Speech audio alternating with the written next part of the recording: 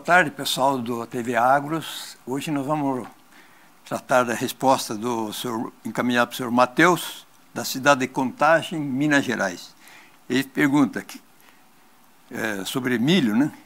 Que tipo de doença é essa e, e como podemos combater? E aparentemente indica que houve um ataque bastante intenso de, de lagartas nesse milharal.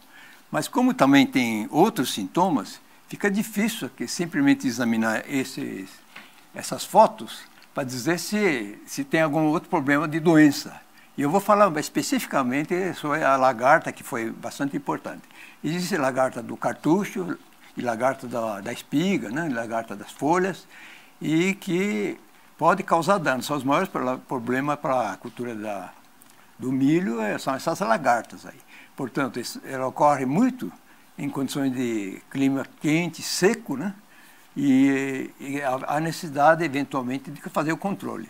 Agora, sob o ponto de vista uh, econômico, ou se o senhor desejar também, o senhor pode usar milhos transgênicos, né? que é aqueles milhos uh, tipo BT, que controla essas lagartas, uh, não totalmente, mas reduz muito. Isso faz com que haja, muitas vezes não haja necessidade de aplicar nenhum defensivo posteriormente.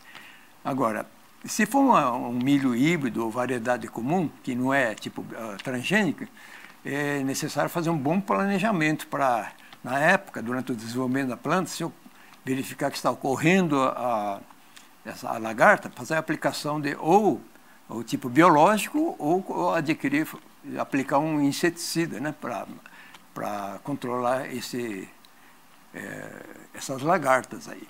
E no caso de controle de pragas, é sempre interessante fazer o que nós chamamos de MIP, né, que é Manejo Integrado de Praga, ou seja, não é simplesmente pensar em aplicar defensivos, sim a parte cultural, a parte da adubação, né, a escolha de variedades ou híbridos, isso tudo vai ajudar o senhor a obter um resultado muito mais é, positivo né, no final, a produt alta produtividade e qualidade dos seus produtos.